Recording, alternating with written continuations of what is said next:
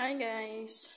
Nata ko rin sa balay sa ako um, mama sa akong among bayi before so nag-renovate sila og balay. So nindot kay ang ilhang kuan guys so ilhang orasan char yayamanin may paganon-ganon pa. oh. Yan. So sa ang ilang pinakabonggang siya din niya, ah, diba? Wow, kaya na siya. Wow. So, nindot kayo siya, guys. Sana all yayamanin. Wow, kaya siya. O, ang pinaka-wow yun sa tanan, guys. Kita ko sa inyo ang ilang bathroom. Char. So, open the bathroom. Char. So, dili na mao guys ang bongacious. Ha? Paingon pa lang ta sa exciting point ha. exciting part. so, ang pinabongga nila guys is, ah, nakita ko. Hi! Kita kong dagway. So, ang pinaka-exciting o bongga nga part rin guys, ang pinaka-bongacious is, kuan ilahang, ilahang, ang ilang sa amin, is smart siya nga mirror, smart mirror. So, off natin. Oh, di ba? Pailaw natin. Oh, di ba? May ilaw. Ayan, guys, oh. May ilaw siya. So, ito yung pindutan niya. Ayan, touch nyo lang. Social, touchscreen. Social lang lang sa amin, touchscreen. Ayan, ayan, off. Tapos, touch mo lang ulit. Ayan, on na siya. O, diba? Bongga ang kanilang mirror. Mirror, mirror on the wall. Yan. So, sana all mayaman. So, ganyan. Touch natin ulit kasi wala to sa bundok eh. Tuwing. Ayaw. Ayan.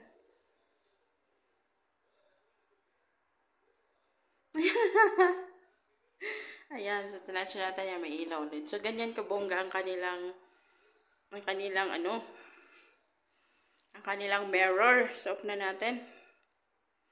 Yan, tapos labos tayo. Tignan natin ang kanilang ref. So, malalaki ang kanilang ref. Char, sana all. So, punta tayo dito sa kusina. Ang kanilang bongacious na kusina. So, may pa-flower pa sila dito sa gitna. Yan. So, hindi pa talaga tapos yung kanilang renovation. Yan. May may ilalagay-lagay pa sila diyang mga ikan sa buhay. Yan, yan, yung may mga ganyan. May ganyan, may ganyan, may ganyan. Yan. May ilalagay pa sila dyan. Mga kaikikan nila sa buhay. Hindi pa talaga tapos. So, dito na tayo sa kanilang kusina. Ayan yung kanilang kusina. So, ang pinaka mas madaming gamit ito, guys. Tignan natin. Tignan yung baso nila, sang katutak. Oh. Yan, sang katutak yung kanilang baso. Sang katutak yung kanilang, kung sa Bisaya pa, parang thermos. Yan, pero dyan nilalagay yung tea at saka yung coffee nila. Ayan. Tsaka ito yung mga kaikika na yan. Yan yung nilalagay sa iinumin nila, no? Yan.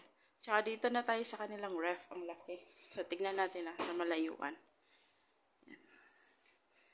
Ang laki ng kanilang ref. Dalawang piraso. Sana all. So, ang laman, reveal, ching! Sabi na ito ng mga frozen don chicken, saka meat, tsaka chichira dyan. O, diba? Dito naman, laganong laman kasi pang gulay-gulay to eh.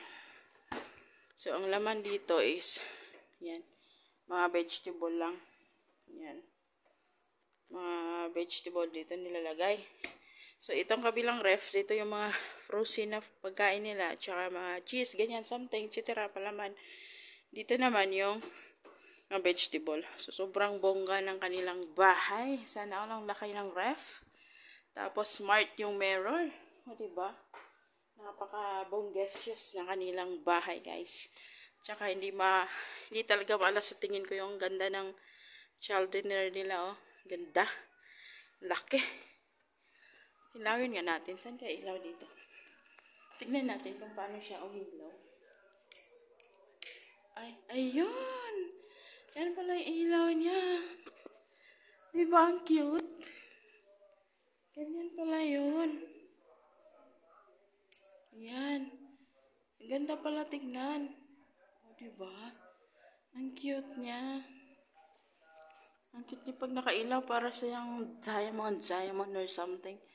Hindi lang gano'ng makita sa camera. Pero pag nilapitan mo siya in person, ang ganda ng ano ng pag-ilaw niya parang diamond. Yan. So, ganyan lang guys for today's video. Babu!